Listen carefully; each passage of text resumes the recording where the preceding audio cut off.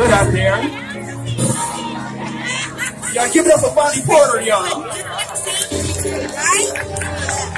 right, y'all, y'all some winning. How y'all feeling today, huh?